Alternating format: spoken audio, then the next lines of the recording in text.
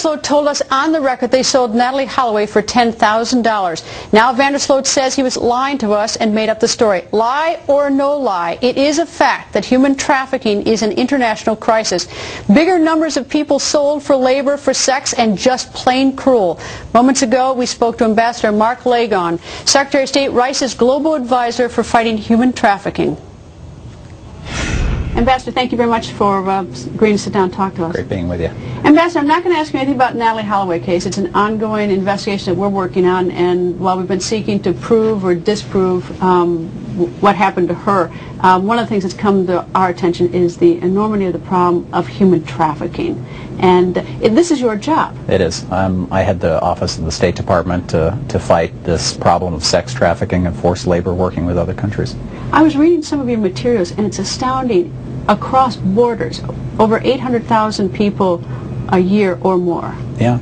If you look at uh, trafficking within borders, it's millions, and across borders, we think it's at least uh, 800,000 um, people a year. Uh, many of them um, for sexual exploitation. We think a, a good 80% uh, of them females um, who are the victims. Is this a problem, let's say in the last five years, it's growing or it's decreasing, or can't you figure that out? Um, I think it's growing, um, but we certainly are more aware of this problem. Nations around the world are beginning to put in place laws um, and only uh, starting to effectively prosecute the bad guys and, uh, implement those laws. Ambassador, you said it's worldwide?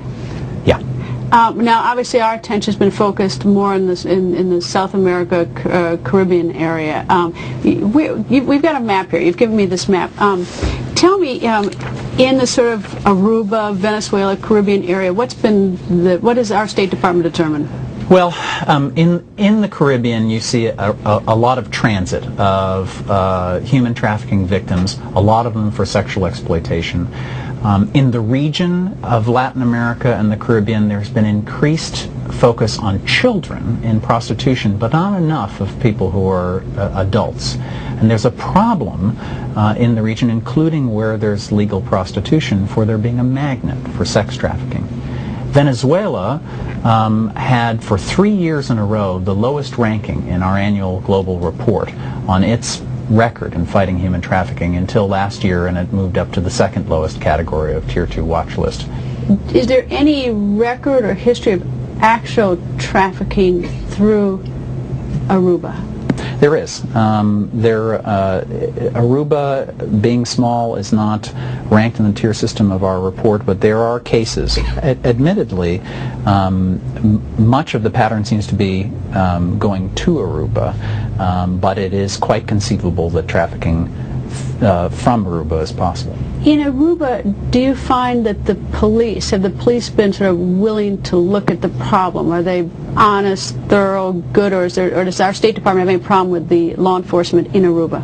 I am not in a position to, to give you a, a, a really good assessment of that, but it is a region in which, um, in Latin America, um, corruption um, and uh, lack of efficacy of uh, law enforcement is serious. We've been dealing with the Natalee Holloway case, which is not part of this investigation, but one of the things that we have is that we have some information that we'd like them to look at. Um, but there's an unwillingness to even look at what we have. Maybe what we have is true. Maybe it's a wild goose chase. But we, you know, what we can't get to look at to see as a possibility. Do you find that unusual? Um, everyone should be open to the uh, opportunity to look at evidence uh, because uh, the possibility of trafficking in this region is serious. What do these women say? Um, I, don't know, I, don't know, if you've ever spoken to them or, or, talked to people who have, but who have been the victim of trafficking. You know, everyone says, well, why don't you just walk away? If you're out on the street being a prostitute or whatever, why don't you just walk away? And I mean, I, mean I've talked to them and I know what, what it, not to the people who've been trafficked, but uh, the extreme coercion. But what do you hear? The definition of human trafficking by law and under UN treaties is it involves force, fraud, and coercion. In general prostitution, there is a lot of um, violence and manipulation by pimps. And in the situation of human trafficking, um, terribly acute. Um, oftentimes, people are um, kept in a brothel. They can't leave. They're living and being exploited in the same place. Um, they, uh, their traffickers get them into debt.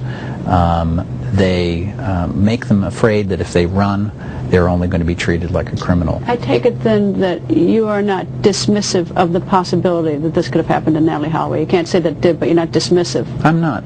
The, uh, um, the flow of human trafficking um, through this region um, is uh, significant. Um, the rule of law is lacking. Um, where there is even um, laws, like in Aruba, they're not well implemented.